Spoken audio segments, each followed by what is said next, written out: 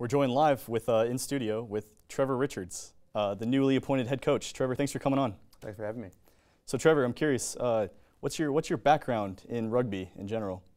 Uh, my background goes in rugby goes back pretty far. I was born in South Africa. Um, Wow. Stayed there through until I was 10 years old.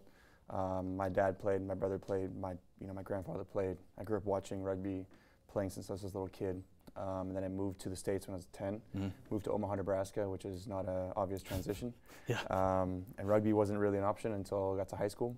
And then from there, I picked it back up again and just kind of took with it and ran. Um, played a little bit over in Australia, studied abroad there, and then I played in college Was collegiate All-American. And then I was in the player pool for the U.S. Sevens team.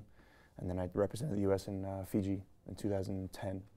Um, and I played for a team out in Seattle, semi-professional club. And then since then, I had to give it up. Just the injuries uh, Mhm, mounted yeah. too quickly. And uh, I've stepped into coaching since then, but I've been coaching about eight years now. So, I got to ask, you've had a very busy last few weeks, you know, in the interviewing process. Yep. So, how, how's that experience been? Uh, interview process has been long. Uh, I Mhm. applied for the job uh, back in the fall, and then they they've reopened the position again for hiring um, in the spring.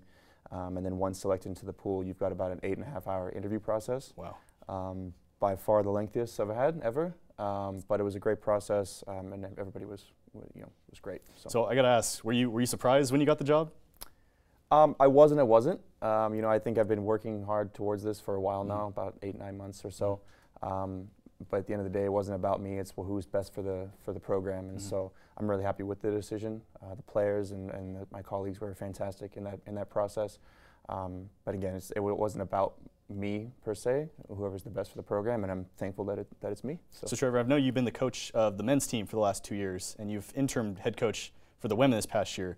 How, do you, how are you going to move forward with that with that knowledge? You know, working with both the men and the women uh, moving forward. Certainly. So I worked as the assistant to Todd Thornley for the head coach for the Mhm. men. Um, he's been fantastic, very supportive, and just uh, you know a great just bank of knowledge. So I've definitely tapped into that a bit.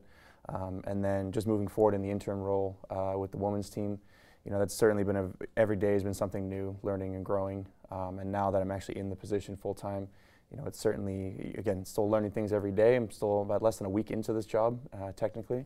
So there's there's new uh, new things every day that I'm learning, including recruiting, Awesome. budgeting, all that kind of stuff. Well, we wish you the best. Thank you so much. Thank you.